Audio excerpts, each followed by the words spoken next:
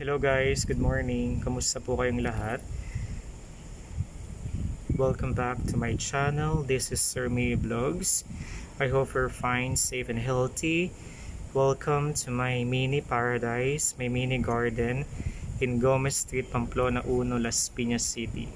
And for today's vlog is i-update ko, i-reflex ko ang halaman na to.